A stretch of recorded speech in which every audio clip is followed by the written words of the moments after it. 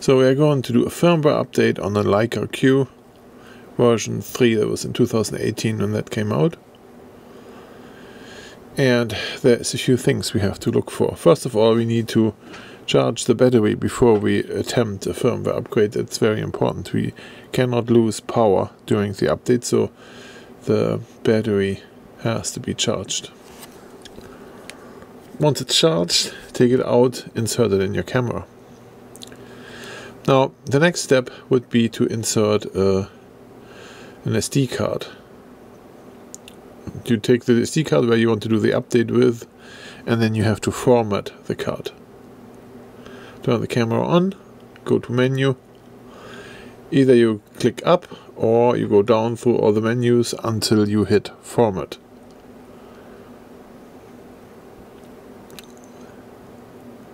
It's probably on the last page there's format on the last item then you take a right a left and the enter button in the middle.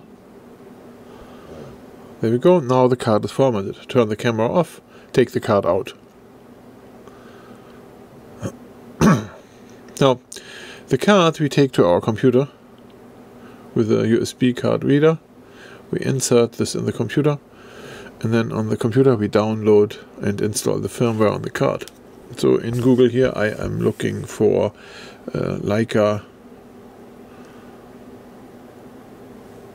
Q latest firmware upgrade update firmware. Uh, the first entry already is from Leica. So we go in there.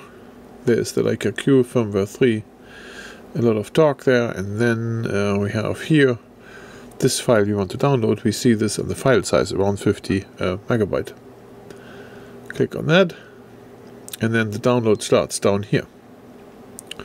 Okay, once it's downloaded, we go to our download folder, and then uh, we insert the SD card. That's the SD card here. That's what's on there, because we formatted on the camera. And then here's the download folder, and we take this and drag it in there and wait until it's copied.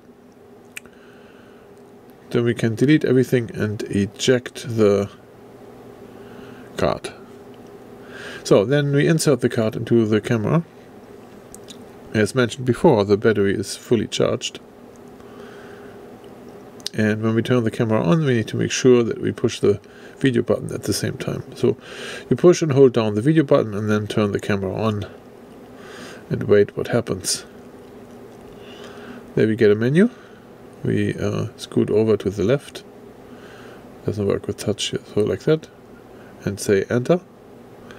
And then it does work its magic. Now, it does not have a progress bar.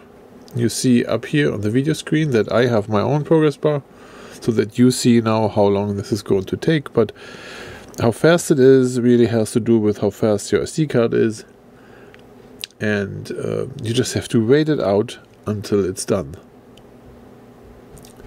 In my case here, it doesn't take too long. You're going to be witness when it is done 100%. In a few seconds, there it goes. Done. Alright, then you follow the instructions. It says reset or restart the camera. You do this by turning the camera off. Wait until everything is off and then turn it back on. Then it restarts, and after the restart, it has the new firmware, hopefully. In order to make sure of that, we're going back in the menu. Oh, here is English, okay.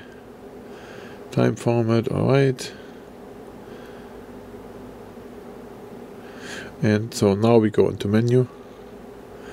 And then I think on the last one, Somewhere it says it about camera information. Let me see if I find this here. Here on the bottom. And then you take a right here.